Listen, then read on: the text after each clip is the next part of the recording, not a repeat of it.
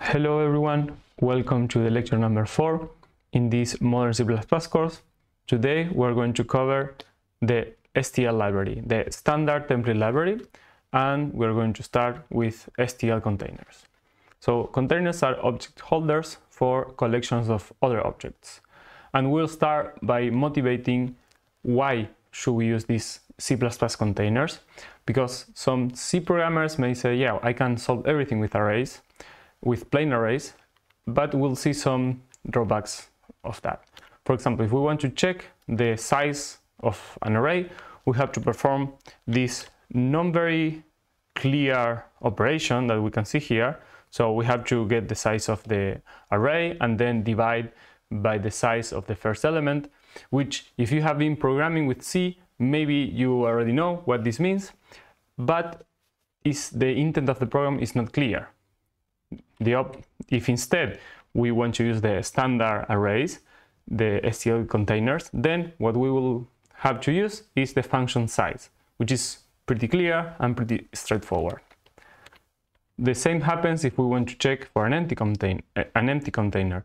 There is no standard way of doing this using arrays, but if instead we use the again uh, a standard container, a container from the STL library like vector, we just have to call the function empty, which will return a, a boolean if the uh, saying true if the vector is empty or false if the vector is not. So again, the intent of the program is clear in in the code itself. It's, there is no necessity of creating uh, of adding any other comment. Also, let's say that we want to access the last element of, of an array or of a container. In this case, if we use arrays, we will have to somehow remember the, the length of the array. Because, for example, here we have only two elements, and we can always access this, the element in the position 3. But in this case, it's not clear well what will be the result of this operation because our container only has the positions occupy the positions 0 and 1 so if we want to access to position number 3 we will i mean this program will still compile will still uh, run but we will have a bug because what we are accessing in the position number 3 is not exactly what we want. If instead again we use for example arrays when we uh, want to access the last element we just call the function back and this will give us the last element of this array.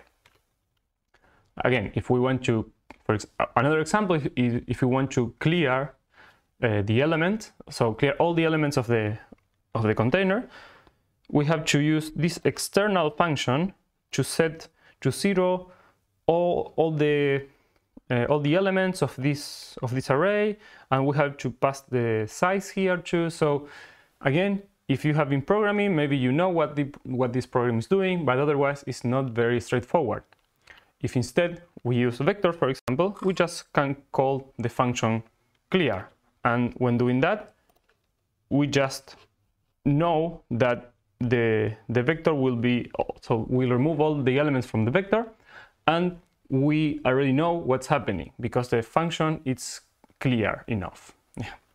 So remember that we shouldn't use or you shouldn't use vectors of characters. We have the already the uh, string, which is a which is a container. So use string instead of of array of characters. This is just an example.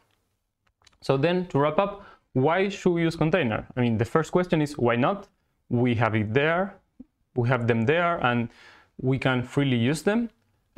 The, also, they improve the readability of the code, and add some functionalities on top of arrays, like we described before, size, empty, front, back, swap. On top of that, we can uh, leverage the STL algorithms. That is something that we'll see at the end of this lecture for free. So in this case, when we use the standard containers, we can use also the STL algorithms that solve problems for us, and we don't have to implement everything from scratch and much more. So Again, as always, in, in each lecture, we try to remind you that in C++, the word is split in two. In the static word, this is everything that happens before your program runs, so at compile time, and the dynamic word, which is happening at runtime. Eh, this means when you are running your program. So with containers, the same happens. We have arrays, which are the standard, the default container, uh, that is the static container, let's say, because you have to specify when you declare it, not only the type, but also the size. So the size of this array means how many elements we will use in this array, and this, is, this memory is, is reserved and we cannot change its size. This means that throughout the whole program, so we will have an array with the same size. We cannot change it. So at compile time, we reserve, for example, in this case, three, um, an array will, will have three elements, and then we cannot change its size. So it's solved at compile time. In this example, we can just we can see how we initialize uh, the array and how to, for example, iterate over it and check if it's empty and check its size. Again, all these these examples that we give, the idea is that you could copy and paste them in your local computer and test them. So to use arrays, we have to uh, include the arrays. Um, uh, so you have we have to add this statement at the beginning. And these are uh, arrays are collections of items of the same type. We cannot, uh, for example, create an array that will store strings and integers. We can just store one type uh, of data. This is a way of creating the array, so which is declaring the array, specifying the type and the number of elements. This is will be the number, the name of the variable, and in this case we are initializing with these three values. And to access the array, we have to use the square brackets and put the index. And remember that in C++, the indices start at zero. To get the number of elements, we use size, and there are some aliases to access to the first and the last element, which is front and back. When we know in advance at compile time the number of elements that we need, for example, if we are expecting an RGB value for a color, we can create a static container, an array, because we already know, again, how many elements we want. In this case, three. But whenever we're working, for example, with sensors and we don't know how many data points we will get, or we just don't know how, at compile time the number of elements that we will store, then we can use the dynamic container, which is the default dynamic container is the vector. And then in this case, we don't need to specify at compile time the number of elements, but only the type, for example, integers or string. And at runtime, then we can add elements. Like for example here, to this list of names, we can add this other name and the size of the vector will be increased. So to use vectors, we just need to add this header and is implemented as a dynamic table. It's the same as array, but again, in this case, the size can change at runtime. Again, we can use clear, size, the same functions. And to add new values, we can emplace back, which is the preferred way of doing it. And we can also use the pushback because it's a function that was used before. So the takeaway for vectors is to use them because they are flexible and they are fast. But in the same way as arrays, we can only store elements of the same type. For arrays, at compile time, we already know how much memory this variable will need or this container will need. So we can allocate in advance the amount of memory that we will use. But in the case of vectors, we don't know in advance because that's the whole point of vectors. So there's this concept of capacity, which is not the same as size, but rather is the amount of memory reserved in advance for the vectors. And whenever we use a lot of push or emplace back operations and we, and we increase several times the size of the vector, we'll have to also increase the capacity of the vector. And this is a time consuming operation because we have to allocate memory uh, in our system to store this new vector. So we want to avoid this operation. And then we can optimize our code if we include this reserve function, which will in advance say, uh, tell to the compiler that we want roughly, so n is an approximate number, we will tell in advance to the compiler how many elements we are expecting, and then in, in this way we can optimize our code because a even if we don't know the exact number of elements that we have, we can avoid these many uh, uh, operations to increase the capacity and we can avoid reallocating memory uh, with different calls. So this is an example of how it works. At the beginning, we have size 0 and capacity 0. When we reserve, in this case, 100 elements, the capacity is 100, but the size is still 0. Then we run 100 times this emplace back, and then at the end, the size and the capacity are both 100. This means that if we want to emplace back once more, we will have to again increase the capacity, and this will be the operation that is costly. But whenever we don't use this reserve function, again at the beginning we have size and capacity 0, and after running 100 times this emplace back, we'll have size 100 and capacity 128. And this is because when we um, do emplace back several times, the, uh, the program has itself to find a way of increasing the, the memory that the vector needs. So as a takeaway, we should use this reserve function to tell in advance the, to the compiler, okay, store n, uh, store allocate memory for n elements, and then you will use the amount that you need and you can still increase the size of the vector, but you will not lose that many time when calling, um, when reallocating memory during your program. This is an, an example of the real world example on how to use vectors, though this is just to show you that we are, what we are showing you, in this case, uh, vectors are broadly used. In this case, is a vector of, of eigenvector 3D, which are three values, so points, normals, and colors. So in this case, you can see that we are creating vectors of vectors or something similar to that.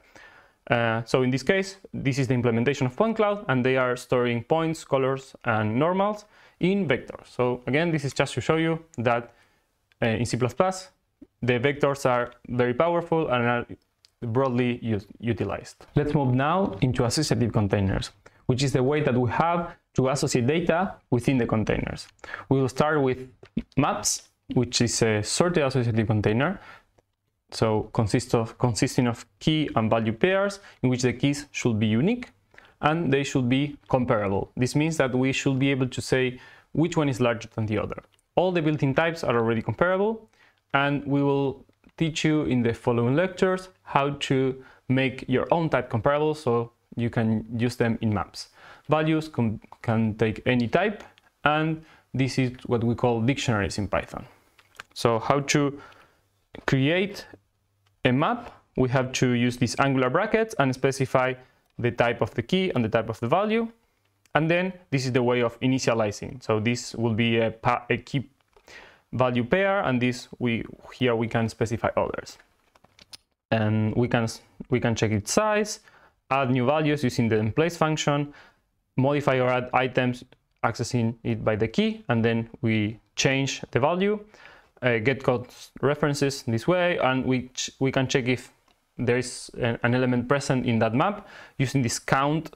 I mean, the keys are unique, so there should be only one element there. there. Uh, and that's why, so this is not super clear, and that's why in C++20 this function was added, returns return a, bool, a, bool, a boolean variable that says if the key is present or not. So here's an example. We will try to run it online so you see that it's actually not that difficult to use. So let's move into VS Code and let's hope that this works quite fast. So we will first just create this map.cpp file. We open it.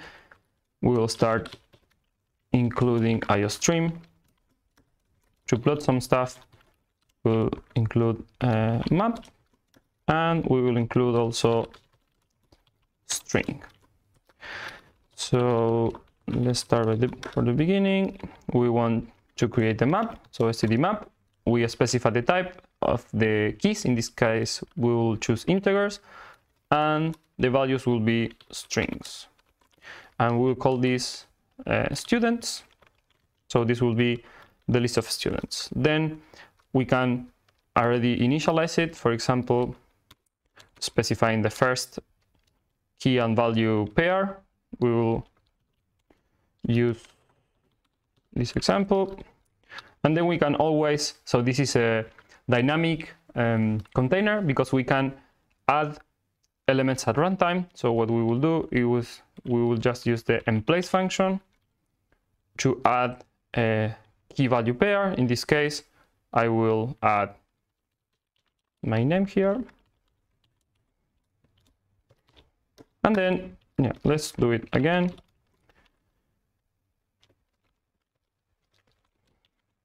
Uh, so you can see that this is sorted. Let's now uh, we'll change the value here. Okay, then we will create this for for loop. This is a way of iterating over the over the map, which is quite new and useful.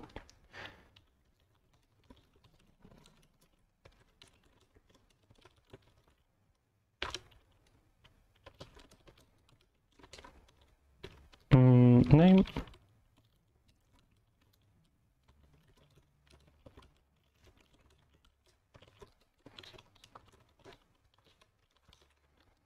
So you can see nothing really weird. I'm just coding everything now. Let's also check the size of the array of the map.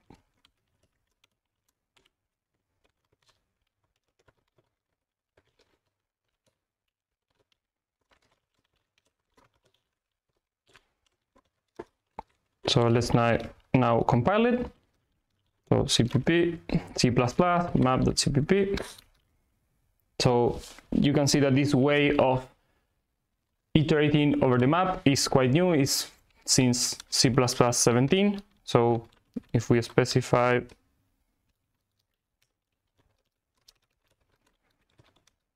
the standard, it will not complain. And then we can route, run the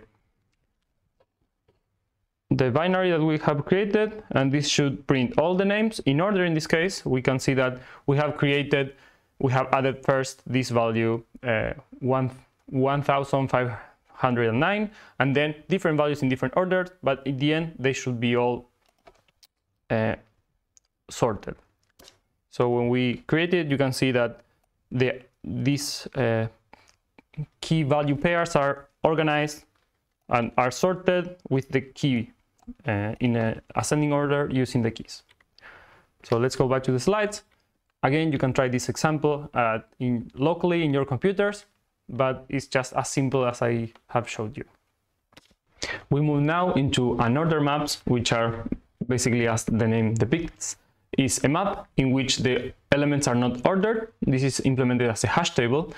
This means that the keys should be hashable, and this means that we the hash function will map an arbitrary length uh, value or key in this case, for example, this string, that can be the different sizes, into a fixed size um, value. In this case, for example, an integer. So this uh, will allow you will allow us to implement this as a hash table. So this hash will be the way that we have to index uh, to to index the, this hash table. So this is faster because this does not require any sorting. So again, same as map. As a hash table, this is important, and the key type should be hashable. Usually, the, the typically used uh, types are already hashable, so we don't have to implement anything. And again, same as map, and is faster because we don't have to sort anything. So if we move to our previous example, we can just change map for unordered map. Ordered map, same here. Mm. And then we just compile the program with standard C++ 17 and we run the program and we can you can see that we are using basically the same syntax. The program is basically the same but in this case you can check in the results that uh, in this case the elements are not sorted uh, using the keys. So again, you can check this program at your uh, locally in your computers, but you will realize that it's the same as the previous one. Regarding the hash function, all the built-in types already have a hash function implemented, so you don't have to worry about that. How to iterate over maps is as so previously the idea was to have a key value pair in which you will access uh, the, this first element, this means the key, using dot first and using dot second to access the value. But since C++17, and this is why uh, we had to add that standard when compiling it, we can iterate over them by using here, you can check a reference, a constant reference to these keys and values in this map, and then it's just as easy as in Python. So uh, again, every element is a pair, and in the map we have the keys are sorted, and in the unordered map they are in a random order. This is a, again an example of the an implementation of Open3D. For those of you who don't know what the voxel grid is, uh, imagine that if you discretize a 2D space, you have a grid, for example, in an image, you have a 2D grid or occupancy grid, and here what we have is a voxel grid, is the same as that, but in 3D. So you can see that here they are using an, an order map. So again, it's just to show you that this is used in real life. This will be the type of the keys, and this will be the values, the type of the values. And since uh, they since this type of the keys, eigen uh, colon colon vector 3i, is not a built-in type, they have to also provide provide the hash function. So you can check more about these containers and how to use them, the different functionalities in the CPP reference uh, website you can see that there are also sets, multi-sets, multi-maps, forward list. And continuing, you also have stack, queue, priority queue. So whenever you have to work with some, some of these type of data, just don't create your own type and use the ones that come in the, the containers that come in the standard template library. We'll now move into iterators, which are the way that we have to use algorithms in a generic way. So let's say that, for example, we want to create a print function to print the, uh, the content of different types of data, in this case, vectors and arrays. So let's do it together. Let's first create a new file here and open it. So we'll start again including IOStream since we want to print stuff. We want also vector and array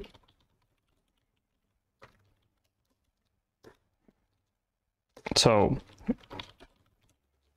let's create our main function in which we will create an array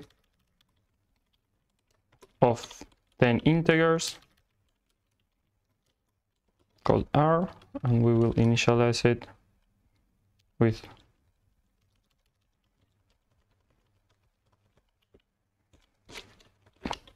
these values. We will also create a vector the same way. Remember, you don't have to specify the number. And now what we what we would want is to so let's say that I want to print the content of the array. So this print function should take the array and print it. And we want to create also we want to use the same print function to print the content of our vector. So what we will typically do is we will create uh, a print function that in this case uh, will take so in this case for example for arrays we'll take an array of 10 integers we have to specify again here the dimension as uh, and the type so this will take the array and will basically iterate over all the elements. Hmm, value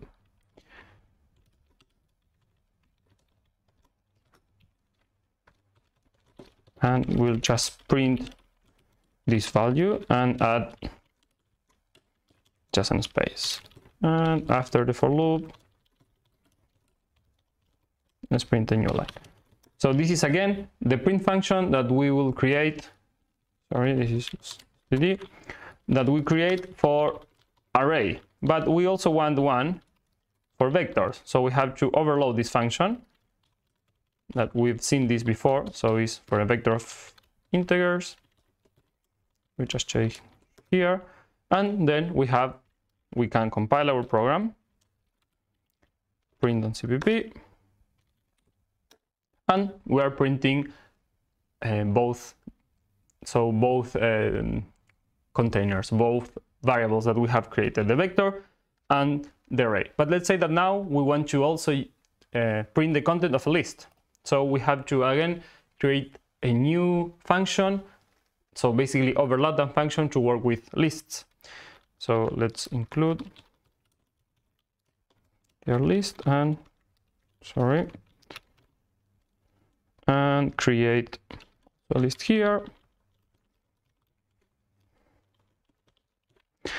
So and we want to avoid this. So what we can do instead, let's create another function which will be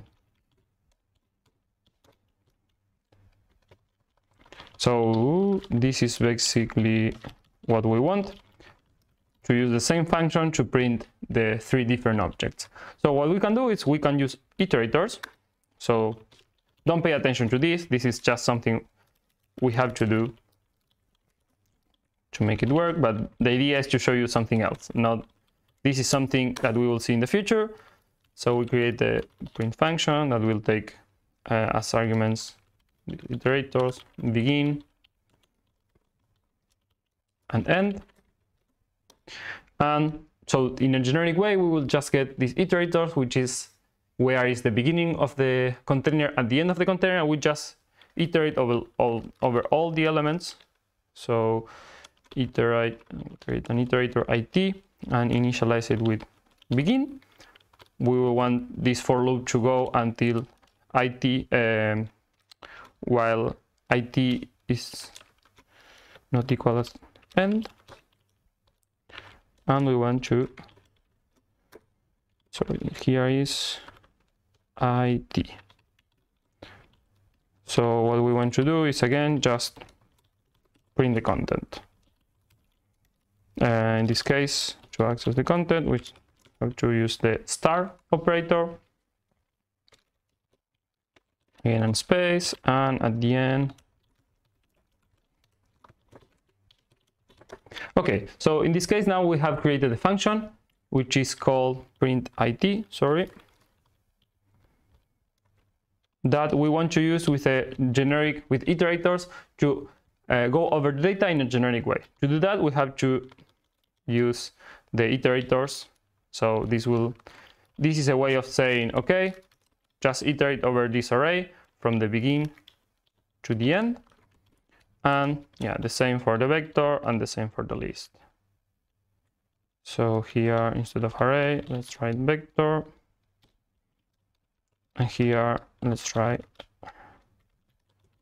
our list L. So in this case what we want again is the same function print it to work with different uh, containers so if we now compile this you can see that we can also run, and this is working with lists. So instead of creating three different functions, we just create the same, and this works with iterators. So these are the examples that I've written. In the naive way will be to uh, write the print implementation for each type and overload it, but we would like to use one single function to uh, use different to print the content of different containers and we can use iterators as an interface between the containers itself and the print function. So we are creating a print function that is generic to different uh, types and then using the iterators we this allows us to access to all the elements of this container. So this is the example and now what are iterators then? They are the glues, the, the glue that ties the standard library algorithms that we will see we'll see uh, next with the different kind of data. So the idea is that we write algorithms in a generic way that works with different uh, structures, different data structures, different objects. So again, as I mentioned before, if we want to if we want to write the sort function and use it with vectors, maps, or lists, we have to write three implementations and overload this sort function. But if instead we write the single sort function that works with iterators, what we will do is use the same function, but that will work with vector, map, and lists. So instead of this function expect like a vector or expect a map or references to these uh, data types, we will expect iterators. And then we will say, okay, this is the beginning of the container, this is the end, just sort it. So again, as I mentioned before, the STL containers are well are similar to pointers in the sense that you have to specify, for example, where it starts and it, it ends, uh, allow quick navigation through the containers. The algorithms on the uh, standard template library use iterators and are defined for all the STL containers. So as you've seen in the example, the star operator is used to access the elements. Uh, this is similar to the pointer syntax. We can also um, move to the next element by using this plus plus notation. Are yeah prefer to use this range for loops, and we can compare iterators. So whenever we want to use these iterators, we have so we have this uh, different type of them. So we have the begin iterator, which will basically return so begin function will return an iterator of to the beginning of the container, and cbegin is just because it's a constant uh, iterator. The same happens with end. When we call this function, it will return iterator to the end of the container, and if we use cend, we'll return a constant iterator. So same happens with reverse begin and reverse end. But what are the STL algorithms? So this is already implemented algorithms, more than 80, that uh, are in the standard template library that we include just by using include algorithm and they operate on sequences defined, defined by pairs of iterators, for example, begin and end, or a single iterator, for example, begin. And the idea of these algorithms is that you shouldn't you should avoid reinventing the wheel. This means if you want to sort some kind of data, you don't have to create your own sort function, but rather use the one that is in this, in this STL library. For example, yeah, in this case, you have to avoid writing these algorithms on your own because they are already implemented and they will be as fast, at least as fast, if not faster, than whatever code that you can write, most probably, because these are algorithms that are already optimized. So again, just as the title says, let's make it bigger. Don't reinvent the wheel. If you want to use a sort function, go and check in the algorithms in if the function is already there. And as I mentioned before, when, when you are creating your own data type, if you create implementations for the standard iterators, then you will, uh, you will get access to all the algorithms in this standard library. So if you are thinking, okay, I'm, I'm, creating my new data type and I want to create a sort function, I want to create the find function, and all these things that you may do on your own, they are already implemented. So it's better for you to implement the iterators for this data type and then uh, work with the standard algorithms. So yeah, as I mentioned before, most probably the the functions or the algorithms implemented there will be at least as fast and the one you can read. So here we selected a few algorithms just to skim over them because there are a lot, but it's to motivate you on why you should use iterators and why you should use the, algor the algorithms in the standard library instead of creating your own ones. For example, the sort algorithm, you will provide the begin and the end of so the, the iterators of the begin and the end of the container, and then it will just sort it. So as you can see, the input is not sorted, the output it is. Here you can, for example, instead uh, pass the reverse begin and reverse end iterators, and then you will sort it the other way around. Or you can just say, okay, instead of starting from the beginning, you can say, for example, begin plus 2, and then you will not sort the whole array, but rather this portion. So another algorithm, find, very straightforward. You say the begin and the end. You have to specify the begin and the end of the container and the value you want to find. And so this will return another operator, another iterator, and if the iterator is the same as the end, then the so it means that this algorithm basically have gone over all the values and have not found it. Fill algorithm, pretty straightforward again. You say you specify the begin and the end and the value you want to fill with. And yeah, for example, this is the output. Again, just these are very easy exercises just to motivate you. Very easy examples just to motivate you to use these algorithms instead of writing your own one. Okay, count. So in this case, we have this vector and we want to count how many threes or many fives are in there. So we just specify, so we, use the algorithm count, we specify the begin and the end of the iterator and the number that we want to count, in this case n1. So this function will return the number of times that this element appears there. So how will you implement this is probably with some for loops, comparing every value and then incrementing a counter. Instead of doing that, you can just uh, pass the iterators to this algorithm and then you get free access to this algorithm. You don't have to write it on your own and you avoid creating for loops. You, in one line of code, you are doing everything. COUNTIF. So here we start to see that there are also some more interesting algorithms. For example, here we want to count how many numbers are divisible by 3. So we create this function. Again, this function can be anything that you want to check.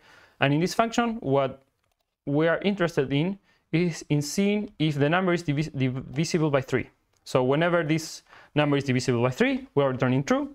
So basically, this function is counting how many times in this container in which, for which we specify the beginning and the end, how many times this function returns true. So in this case, since the, the answer is 4, but remember, you can change this function. So this can for example, count how many times you get the 3 there. I mean, you can do it with the other function too. But then you say, okay, how many times this i is equal to 3? And then it will return true, and then you will count the number of 3's that are in that container. So again, this is, in this case, we are showing everything, all the examples with vectors, but we can use another uh, kind of data structure since, as you can see in all the examples, we are not passing vectors, in this case, but rather the iterator for the beginning and the iterator from the end for each. So this also is something that uh, an algorithm that will avoid you to write for loops.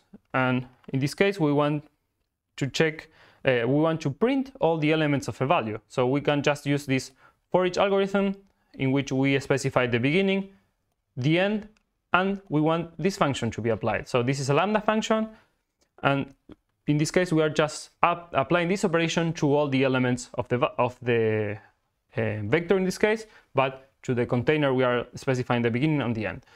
So this print function could be whatever you operation you want to apply to all of them. And in this case, instead of just running a for loop and accessing each key and value or each value in this case of the vector and doing some operation, you can just write it everything more compact in one single line all off.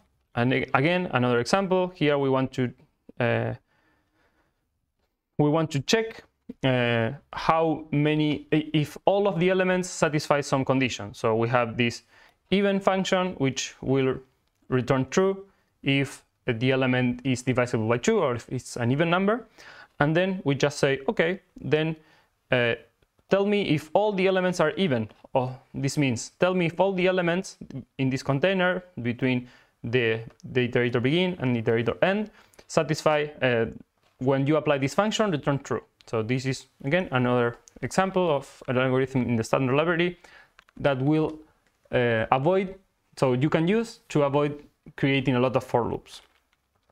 Rotate, in this case, you, you have to specify the beginning, the end and the point in which you, you want to rotate in this case is plus uh, is the begin plus 2 so this means that uh, as you can see here in the result this is the original the original vector and what we want when we what we say is that we want to rotate in this point. So this is begin plus 2 so what will happen is basically this latest part so the, the first part will be pasted at the end as you can see here so as you can see also the notation that we can access uh, so we can pass the begin plus 2 instead of just passing the value, for example. So in this case, we are using again upper, uh, iterators to specify the begin, the end, and the position in which we want to rotate this uh, vector in this case. Transform. Okay, in this case, we also want to apply this function, uppercase. We specify the source, which is the, the begin and end of this source string. And then we specify where do we want to put the result. In this case, with the begin operator only. And then we will apply this function. So this function, again, we specify only, so it's not something that we do in situ as we did in, in other functions, but this is transforming. So it could be possible that the result is not the same size as the input. And that's why we have to specify the beginning of this new container. And you can see here that the input is lowercase hello and the output is uppercase hello. Another example of an algorithm that you can uh, find in the standard library is accumulate. In this case, we specify the beginning, the end, and here we just want to get the sum. And we can also specify, for example, in this case, this function, and we will accumulate the product instead of accumulating just the numbers. Another pretty straightforward example is the max function, will, which will return the maximum value between two in this case, the min element, which will, as you can see here, it will say, okay, min element will return an iterator. Um, and then we, to show where's the location, we will have, we will compute the distance between the beginning and the result, and then we will find what's the position of this minimum value. We have the min-max element, which is, again, another combination of these, and you can see that it will return two iterators and here with the star operator we access uh, to the value, the min and max value. The clamp function, which is a function that if you uh, have worked in robotics, some sometimes you have to implement yourself. So you we specify a, a minimum and a maximum value, and then this will say, okay, if the value is greater than the maximum value, for example, this 1.1, we will just cut, cut it and say, okay, the, the output will be the maximum value and the same happens with the minimum value. So if we have a number which is smaller than the minimum value, then we will stick to the minimum value. Sample, this is um, a function that you had to use in the homework assignment and allows you to, so first you have to specify a random device and then you can have as many samples as you want from in this case, this string. So we have this C++ school string and this out string, which so far is empty. We say, okay, we want five letters, and then what we want is we will specify the begin and the end uh, iterator for this in string, which is C++ school. Then we have to, the, don't worry about this, this is the notation, how you have to use this function, then the amount of, of samples that you want, and then the random device. And so this example, it will be different for each computation because it should be random. So in this case, uh, what we sample from this uh, from this C++ school is C++ CL. These are the the five characters that we want at the end. I hope you are now excited about the capability of C++, the standard algorithms that you can use if you provide the implementation of iterators or if you are using the standard containers. So again, it's a way of not reinventing the wheel and using uh, already out-of-the-box uh, algorithms that you don't have to write on your own. So this is the suggested video of this week. Uh, if you want to get in touch with all the algorithms of the standard library, you can check this video out. The references, as always, are the C++ book and the cppreference.com website. I hope you enjoyed the lecture. I'm looking forward to see you in the following ones, and thank you for your attention.